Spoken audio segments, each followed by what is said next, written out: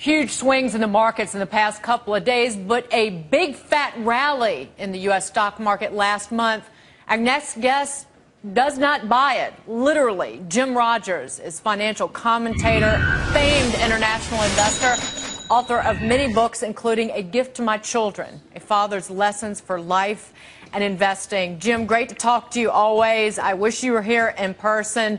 The U.S. stock market, comparatively, if you compare the U.S. to Europe, doesn't look that bad. I know you're not a buyer. Why not?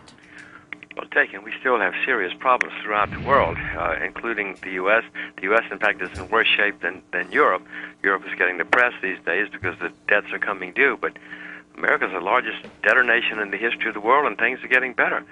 Next time we have an economic slowdown, it's going to be terrible. Well, Jim, when do you think that's going to be? Because in terms of our indebtedness, there has been little waning of interest in lending money to us. And so that begs the question of when does that day of reckoning arrive? Well, six months ago, there was not much worry, uh, worry about lending to Europe, and you see what's happening now. Eventually, things people catch on to what's going on.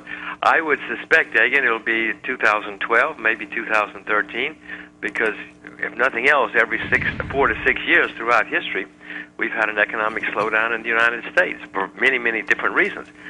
So we're overdue. We're overdue, you know, 2012, 2013. When the next slowdown comes, what's America going to do? We cannot quadruple our debt again. We cannot print staggering amounts of money again. So the next slowdown is going to be even worse than 2008, which was worse than 2002. So things just keep getting worse because the debt keeps getting higher and higher. Jim, I know you're a huge fan of commodities in particular and have been for years, in particular agricultural commodities. But if the United States is in, in, such dire straits and you see Europe struggling mightily, how wouldn't a decline in demand for those very commodities hurt the prices of them?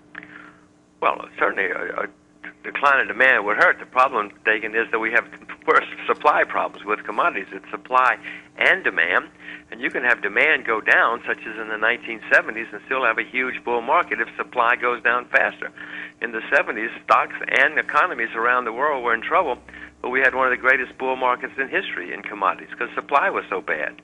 But aren't but aren't supplies increasing? You're certainly seeing it, and these aren't agricultural, but you're seeing supplies pick up in both gold, and silver. And throughout history, if you look at a long chart, don't supplies long term meet demand in the world? Well, eventually, yes, of course, but that doesn't preclude that we, we've had throughout history, we've had long bull markets and long bear markets in commodities.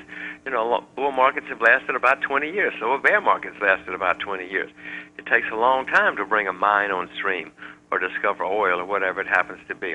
Dagen, in America, the agricultural, all over the world, the agricultural supply problem is terribly serious. The average age of a farmer in America is 58. In Japan, it's 66. In Australia, it's 58. If we don't have any farmers, who's going to produ- be producing food in 10 years? Are you going to go into the fields? I doubt it. Uh, I try. That's where I came from, Jim. So I, I made my. I, well, know, my, I, mean. I, came from farming people, so luckily I get to do what I do for a living. But Jim, in terms of placing long-term bets on commodities and agricultural commodities, if you're using the futures market.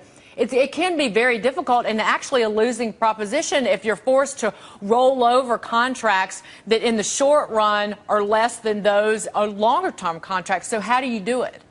Well, Dagen, did anybody ever tell you it was easy getting rich? It was easy making money in the markets? I hope not. You should watch watch Fox, and you'll find out it's not easy making money, but it can be done. People can make money in the stock market. People can make money in the commodities markets if they do their homework and they figure it out. I'm not suggesting this is easy. I've never it's never been easy for me to invest in the markets, but every once in a while, even I get it right. Jim, it was great to talk to you. You take care of yourself. Please come back on very soon, sir. Thanks, Take care. Jim Rogers, famed international investor. All right, shifting.